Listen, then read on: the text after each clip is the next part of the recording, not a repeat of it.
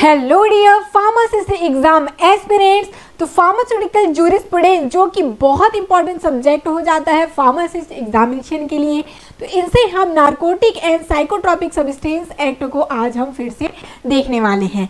जहाँ पर जितने भी प्रीवियस ईयर एग्ज़ाम में पूछे गए क्वेश्चन हैं, उनको हम डिस्कस करेंगे, जो कि फार्मासिस्ट एग्ज़ाम में पूछे गए हैं। आप देख सकते हैं जितने क्वेश्चन हैं, वो डिफरेंट डिफरेंट फार्मासिस्ट एग्ज़ाम में डिफरेंट डिफरेंट ईयर में पूछे गए हैं। तो ये जो बुक है, ये है objective pharmacist exam at your finger tip जहाँ पर आपको प्रीवियस ईयर फार्मासिस्ट एग्ज़ाम में पूछे गए सभी क्वेश्चन यहाँ पर मिलने वाले हैं।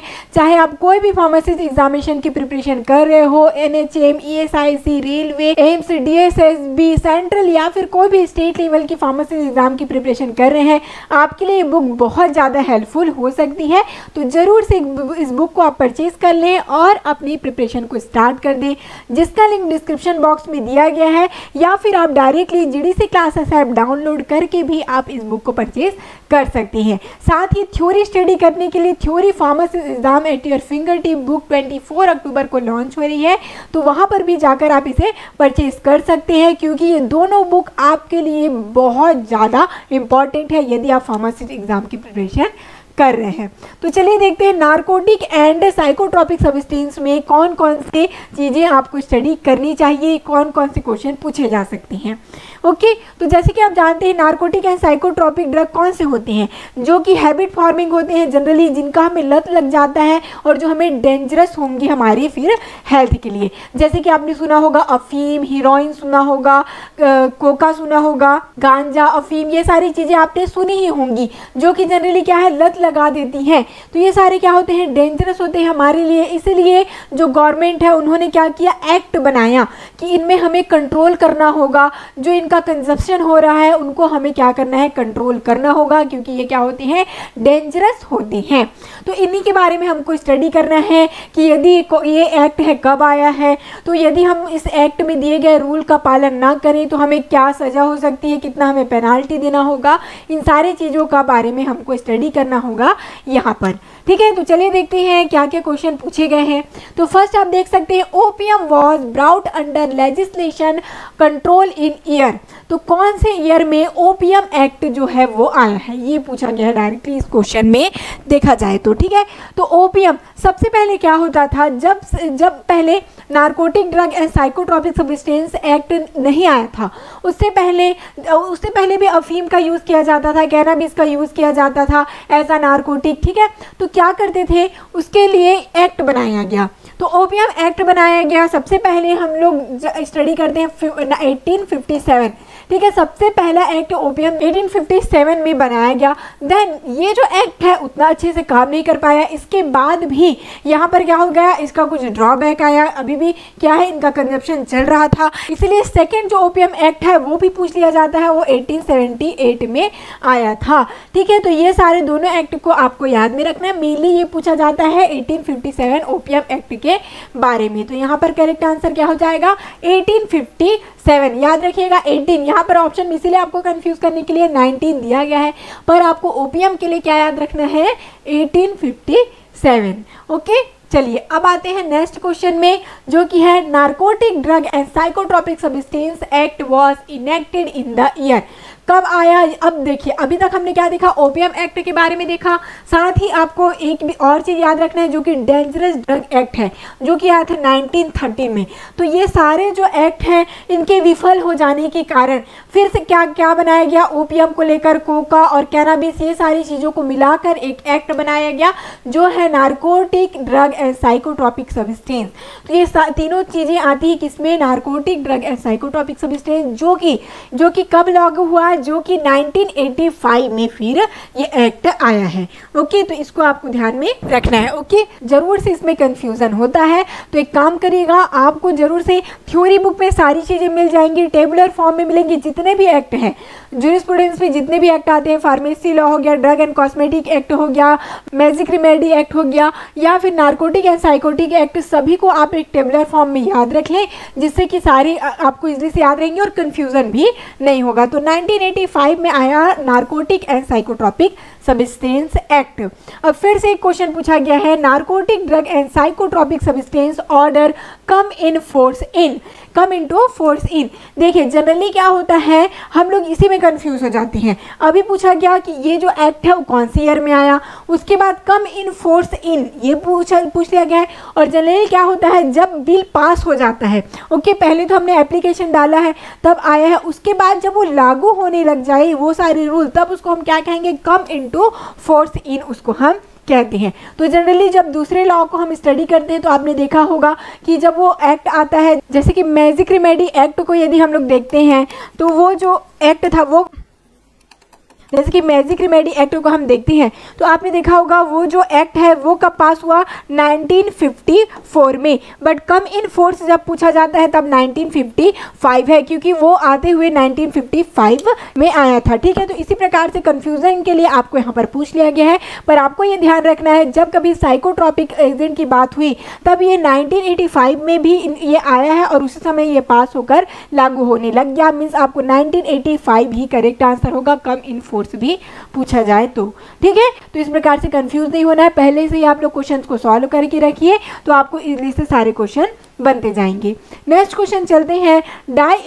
Diamorphine is also known as जो कि M P N H M pharmacy 2022 में पूछा गया है। अभी का ही ये लेटेस्ट क्वेश्चन है, समझ लीजिए। तो देखिए डाई मॉर्फिन तो मॉर्फिन में कुछ इनके स्ट्रक्चर में चेंज हो जाती है, तभी जाके हीरोइन है कोडिन है, ये सारी चीज़ें हैं, वो बनती हैं, ठीक है? तो जो एसिटाइल है, जो मॉर्फिन के स्ट्रक्चर में एसिटाइल ग्रुप जब दो एसिटाइल ग्रुप ठीक है? डाई लिखा है मीन्स दो एसिटाइल ग्रुप जब जुड़ जाते हैं तो उसको हम हीरोइन कहते हैं। ओके, ये क्या होगा? हीरोइन हो गया, जो कोडिन है, ये सारी चीज़ें इन्हीं से ही बनती हैं, मॉर्फिन की ये डेरिवेटिव होती हैं। तो ये यहाँ पर हीरोइन हो जाएगा, करेक्ट आंसर। उसके बाद जो गांजा दिया गया है, चरस दिया गया है, ये सारे क्या है? को, ये कैनाबिस से ऑप्टेन होती हैं। आगे चलेंगे। As per narcotic drug act controlled substance means ये जो क्वेश्चन है टू टाइम पूछा गया है राजस्थान फार्मासिस्ट में।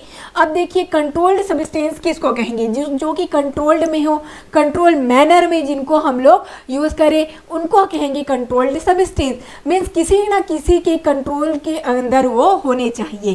तो क्या हो सकती है? Drug banned by state drug notified in the central government gazette drug dispensed by registered medical practitioners order drug included in controlled price list. तो क्या होना चाहिए? कंट्रोल्ड सबिस्टेंस मीन्स ऐसे सबिस्टेंस होंगे जिनका यूज़ करने से पहले हमको नोटिफाई करना होगा सेंट्रल गवर्नमेंट गेजेट में क्योंकि ये क्या है? डेंजरस है। डेंजरस इन द सेंस ये साइकोट्रॉपिक है, जो कि क्या करेंगे? हैबिट फॉर्मिंग हो जाएँगे। डेंजरस होंगे हमारे लिए। इसीलिए हमें जब कभी भी ओपीएम हो गए गांजा है, इन सारी चीज़ों के यूज़ से पहले या फिर इनटेक से पहले कभी भी इनका यूज़ है, तब सेंट्रल गवर्नमेंट को नोटिफाई होना बहुत अनिवार्य होता है। तो यहाँ पर करेक्ट आंसर क्या हो जाएगा? Drug notified in the central government gazette इनको हम कंट्रोल्ड सब्सटेंस कहते हैं। नेक्स्ट चलेंगे penalty for the cultivation of any cannabis plant to produce sale purchase and transport in contravention of narcotic drug and psychotropic substance act rule on first conviction is देखिए, रहने को बहुत लंबा चौड़ा ये क्वेश्चन आपको लगा होगा कि इसका आंसर क्या हो सकता है बट डायरेक्टली यदि बोला जाए। कोई भी कैनाबिस प्लांट को यदि हम लोग दिया गया रूल के according narcotic and psychotropic act के अकॉर्डिंग हम ना चले, ठीक है, छुपा कर यदि इनका हमें क्या करना हो प्रोड्यूस कर रहे हैं सेल कर रहे हैं परचेज कर रहे हैं तो ये इनमें क्या पेनाल्टी होनी चाहिए? ये सारी चीज़ों को यदि सेल किया जाए परचेज किया जाए बिना बिना किसी अनुमति के तो क्या होगा? कितनी पेनाल्टी आपको यहाँ पर पे करनी होगी? तो आपको ये आइडिया हो गया होगा अब तो कि बहुत इंपॉर्टेंट होता है नार्कोटिक एंड साइकोटिक एक्ट क्योंकि यहाँ पर ऐसे एजेंट जो ओपियम हो गए, गांजा है कोका ये सारी चीज़ें क्या होती हैं? हार्मफुल होती हैं। बॉडी के लिए नार्कोटिक है साइकोट्रॉपिक है, ठीक है? जो कि क्या करती डेंजरस हो तो इनका यदि कंजप्शन किया जा रहा है, यदि सेल किया जा रहा है तो ऐसी चीज़ें जो हार्मफुल हो तो उसमें ऑब्वियस ही बात है कि पेनाल्टी भी बहुत ज़्यादा होनी होगी। तो इसमें जनरली क्या होता है, एक लाख आपको पेनाल्टी देनी होती है। अब आप सोचेंगे कि हाँ सेल करके तो इजली से एक लाख मिल जाएगा, दे देंगे पेनाल्टी बट यदि आप पकड़े गए तो ये भी ध्यान रखिएगा, एक लाख तो देना पड़ेगा ही साथ ही दस साल की. टेन ईयर्स की इसमें आपको जेल हो सकती है। तो ऐसा यदि करने का किसी का ध्यान आता है कि हमको तो एक लाख इजली से मिल जाएगा पेनाल्टी रहेगा तो दे देंगे तो ये भी याद रखिए कि दस साल की सज़ा भी होती है। तो ये आपका जो पेनाल्टी है, उसे ज़रूर स्टडी कर, किया कीजिए। इससे ज़रूर से क्वेश्चन पूछे जाते हैं तो करेक्ट आंसर हो जाएगा। Rigorous imprisonment up to ten year fine up to one lakh rupees okay ये आपको पेनाल्टी पे करनी होती है। नेक्स्ट चलेंगे कीपिंग फॉल्स अकाउंट और marketing false statement under narcotic drug and psychotropic substance act 1985 is punishable with जो कि केरला फार्मेसी 2022 में पूछा गया है। अब यहाँ पर दिया गया है फॉल्स अकाउंट्स रखेंगे। यदि जो चलिए बोल दिया गया है कि आपको सेल करना है, आपको लाइसेंस है, ये भी ठीक है। पर यहाँ पर आप जो अकाउंट रख रहे हैं कि कितना सेल हुआ है, कितना जो आपका परचेस हुआ है, ये सारा जो अकाउंट है, उसको आपने कुछ गड़बड़ी किया है। ऑब्वियसली बात है, ज़्यादा लाभ कमाने के लिए अपने अकाउंट में हेर कर सकती है, ज़्यादा बेचकर कम का अकाउंट बना लेंगे फिर उनको क्या होगा? ज़्यादा प्रॉफिट होगा। तो यहाँ पर देखिए तो इसमें आपको ऐसा करने से आपको क्या होने वाला है? आपके साथ क्या पेनाल्टी आपको मिलने वाली है? यदि बात करें तो ऑब्वियसली बात जैसे कि इसमें 10 साल का आपको पेनाल्टी मिला था। 10 साल का पेनाल्टी मिला है और एक लाख रुपये आपको देना पड़ा है। वैसे इसमें काफ़ी आपको क्या करना पड़ेगा? सज़ा लेनी पड़ेगी। जैसे कि फाइव ईयर यहाँ पर क्या हो जाएगा? फाइव ईयर का अब आपको जेल हो जाएगा। Imprisonment up to five year यहाँ पर आपको जेल में रहना पड़ेगा। यदि आपने आ, कोई भी अकाउंट में यहाँ पर गड़बड़ी की है तो मतलब बहुत रिस्की चीज़ है देख सकते हैं। आगे चलेंगे application for cultivation license of OPM is made on form जो कि H P S C pharmacy 2022 में पूछा गया है। तो इसको कैसे ट्रिक लगाकर याद रखेंगे आप? अब आपको पता है जो हीरोइन हो, होते हैं अफीम है ठीक है कोका कैनाबिस है गांजा है इन सारी चीज़ों को क्या कह सकते हैं? दो नंबरी का काम कहते हैं। हालाँकि यहाँ पर आपको क्या करना है वही चीज़ काम करने के लिए एप्लीकेशन देना है। पर जनरली क्या कहते हैं ये टू नंबर का काम है तो आपको ये याद रखना है कि यहाँ पर जो एप्लीकेशन भी जाएगा वो टू नंबर का जाता है। ओके okay, तो एप्लीकेशन फॉर्म होता है टू जो जिसका नंबर होगा। यदि हमको क्या करना है ओपीएम वगैरह के लिए लाइसेंस चाहिए कल्टीवेशन के लिए। ओके okay, समझ पा रहे हैं? इस प्रकार से ट्रिक लगाकर याद रख लीजिएगा। आगे चलते हैं चलिए। दिया गया है coca opium opium and hemp come under. तो ये जो ड्रग है, वो किसमें आना चाहिए? आप ही बताइए चलिए। Dangerous drug act poison act drug and cosmetic act none of this ये क्वेश्चन टू टाइम पूछा गया है ओडिशा फार्मासिस्ट में। तो अभी तक मैं आपको क्या बतला रही थी बार बार कि ओपीएम है कैनाबिस है हेम्प है, ये सारी चीज़ें बहुत क्या होती हार्मफुल होती हमारे लिए बॉडी के लिए बहुत ही ज़्यादा डेंजरस होती हैं। तो ये किसमें आती है? डेंजरस ड्रग एक्ट में ये सारी चीज़ें आती हैं। ओके ईजी था। नेक्स्ट चलेंगे drug classified under narcotic drug and psychotropic agent included all except ध्यान दीजिएगा, हमेशा क्वेश्चन में एक्सेप्ट और नॉट को बहुत ही अच्छे से आपको क्वेश्चन को स्टडी करना चाहिए।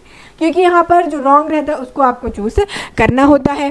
तो यहाँ पर क्या आंसर होना चाहिए? जो कि राजस्थान फार्मासिस्ट में टू टाइम पूछ लिया गया है। इसीलिए मैं कहती हूँ प्रीवियस ईयर के क्वेश्चन को बार बार सॉल्व करें। यहाँ पर आप देख सकते हैं कितने रिपीटेशन हो रहे हैं क्वेश्चन के।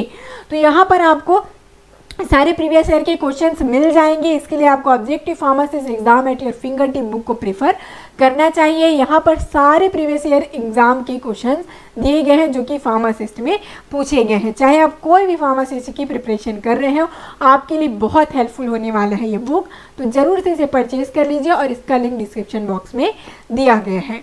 ओके फिर नेक्स्ट चलते हैं। देखिए, इसका आंसर क्या होना चाहिए? यदि हम बात करें हसीज दिया है हीरोइन है कोकिन है और इफेड्रिन तो अभी तक हमने क्या पढ़ा? हीरोइन जो कि डाई स्टाइल क्या है? मॉर्फिन है। कोकिन के बारे में देखा, ठीक है? और हसीस ये सारी चीज़ें आपने सुनी है कि ये क्या है? नारकोटिक है हैबिट फॉर्मिंग होती हैं। पर इफेड्रिन को आपने क्या देखा होगा? ये मेनली ब्रोंकोडाइलेटर होते हैं भाई। तो ये क्या हो गया? ये कभी यूज़ होगा क्या? साइकोट्रॉपिक की तरह ये कभी हैबिट फॉर्मिंग है? नहीं है। तो ये क्या है? ये आपके नारकोटिक एंड साइकोट्रॉपिक सबस्टेंस में नहीं आते। इसीलिए ये हो गया करेक्ट आंसर क्योंकि यहाँ पर दिया गया था एक्सेप्ट नेक्स्ट क्वेश्चन जो कि दिया गया है coca opium and hemp come under which act? अब आपको थोड़ा डाउट हुआ होगा कि मैम हमने तो नाइन्थ नंबर में भी जस्ट यही क्वेश्चन पढ़ा है, फिर से यहाँ पर रिपीट कर दिया गया है उस क्वेश्चन को, जो कि ओडिशा में पूछा गया था दो बार, और ये क्वेश्चन है जो कि एमपी फार्मेसी 2017 में पूछा गया है। तो आपको ऐसा लग रहा होगा, बट देखिए, यहाँ पर जो ऑप्शन दिए गए हैं, वो क्या है? अलग है डिफरेंट है. इसीलिए इस क्वेश्चन को डाला गया है भाई। देखिए insecticide act poisonous act narcotic and psychotropic substance act and spurious drug act तो अब आपको आइडिया हो गया होगा यहाँ पर से कि क्या होना चाहिए आंसर तो आपको इसका आंसर कमेंट करके बतलाना होगा ओके इलेवन का आंसर आपको कमेंट करके बतलाना है। मैं सबका कमेंट चेक करूँगी, ज़रूर से आपको कमेंट करना होगा इसका आंसर ओके नेक्स्ट चलते हैं एग्ज़ाम्पल ऑफ़ नारकोटिक ड्रग जो कि केरला पीएससी फार्मेसी 2021 में पूछा गया है। अब ये भी बहुत अच्छा क्वेश्चन है। ओके okay, चलिए इसको ज़रूर से सॉल्व करेंगे। बहुत इंटरेस्टिंग क्वेश्चन है। क्या होना चाहिए? आपके अकॉर्डिंग आंसर देखिए। Cannabis leaves without top coca leave without ecgonine and poppy seed none of this आपको क्या लगता है, क्या होना चाहिए? आंसर आप सोचेंगे कि मैम, ये तीनों चीज़ें तो अभी तक हम लोग स्टडी कर ही रहे हैं। तो ये तो यहाँ पर नॉन ऑफ़ दिस की जगह ऑल ऑफ़ दिस होना चाहिए। फिर एक, ये क्वेश्चन सही होता। क्वेश्चन में मिस्टेक है, सोच रहे होंगे आप बट ऐसा नहीं है। ध्यान से स्टडी करिए क्वेश्चन को। एग्ज़ाम्पल दिया है नार्कोटिक ड्रग की। तो हर हमेशा मैं आपको कहती हूँ, जैसा कि एक पूरा प्लांट है, समझ लीजिए, ठीक है? अभी इसके ब्रांचेज हैं, ये इसका रूट है, ठीक है? इसके फ्रूट लगे हुए हैं, समझ लीजिए। अब ये ध्यान रखिएगा, हर एक पार्ट में वही सब स्टेंस नहीं रहता। कई कई कई कई प्लांट का हम फ्रूट पार्ट यूज़ करते हैं, कुछ का हम ब्रांच पार्ट यूज़ करेंगे, ठीक है? कुछ का हम रूट पार्ट यूज़ करेंगे, कुछ का हम लीफ पार्ट यूज़ करेंगे, ठीक है? ऐसा नहीं कि हमको सारे प्लांट में, पूरे प्लांट के सभी पार्ट में वही केमिकल कॉन्स्टेंट मिले, ठीक है? हम पूरे प्लांट का नहीं पर्टिकुलर किसी एक पार्ट का यूज़ करते हैं एक प्लांट में। ओके और वही प्लांट में पर्टिकुलरली वो केमिकल कॉन्स्टेंट रहता है। ये बात आपको ध्यान देना है। और ऐसा भी होता है कि एक ही पार्ट में बहुत से केमिकल कॉन्स्टेंट रहते हैं। तो ये जो डिफरेंस है, उनको याद रखना है आपको। ऐसा नहीं कि आपने देखा कैनाबिस है ओपीएम है पॉपी है मीन्स ये तो हाँ नार्कोटिक है। नहीं, उनका पार्ट इसीलिए स्पेसिफाई किया गया है कैनाबिस लीव विदाउट टॉप्स तो विदाउट टॉप ये क्या हो जाएगा, जो उनका यूज़ करते हैं हम लोग लीफ का जो फ्लावरिंग टॉप है, उनको मेनली यूज़ किया जाता है नार्कोटिक की तरह। और उसके बिना तो ये फिर नार्कोटिक नहीं हुआ ना। दिया गया है कोका लीव विदाउट इकगोनिन। तो जो ये इकगोनिन केमिकल कॉन्स्टुएंट है, वही तो मेनली नार्कोसिस के लिए, नार्कोटिक एजेंट के लिए रिस्पॉन्सिबल है। ठीक है? नार्कोटिक ये इफ़ेक्ट देता है, इसीलिए इसके बिना तो फिर वो भी नार्कोटिक नहीं हुआ। पॉपी सीड दिया गया है। तो हम पॉपी किसका यूज़ करते हैं भाई? ओपियम पॉपी, क्या होता है वो? कैप्सूल होता है। कैप्सूल को हम यूज़ करते हैं, तब वो जाकर क्या होगा? नारकोटिक कहलाएगा और सीड पार्ट का बोल दिया गया है। तो सीड में वो क्या है? प्रेजेंट ही नहीं हो, केमिकल कॉन्स्टेंट तो वो कैसे? नारकोटिक हुआ। ठीक है? तो यहाँ पर क्या होना चाहिए? Correct answer, none of this. क्योंकि यहाँ पर कोई भी ऑप्शन है, वो मैच नहीं कर रहा है। एग्ज़ाम्पल है ही नहीं नारकोटिक ड्रग के। तो इस प्रकार से आपको ज़रूर से घुमा कर भी क्वेश्चन पूछ लिया जाएगा। इसीलिए पूरे प्रीवियस ईयर के क्वेश्चंस को सॉल्व कर लीजिए, ताकि ऐसा कोई भी क्वेश्चन आता है तो आप पहले से उसके लिए प्रिपेयर रहेंगे और अच्छा सा आपका एग्ज़ाम जाएगा और आपका इजली से फार्मासिस्ट एग्ज़ाम क्लियर हो जाएगा। इसीलिए दोनों बुक जो है theory pharmacist exam at your finger tip and objective pharmacist exam at your finger tip दोनों बुक को आपको प्रेफर करना चाहिए। Objective pharmacist exam at your finger tip book की लिंक दी हुई है। वहाँ से आप जाकर परचेज कर लीजिए या फिर directly G D C classes app download करके भी इसे आप परचेज कर सकते हैं। साथ ही theory pharmacy exam at your finger tip twenty अक्टूबर को लॉन्च हो जाएगी तो उसे भी आपको ज़रूर से परचेज करना चाहिए। तो मिलते हैं नेक्स्ट लेक्चर में। All the best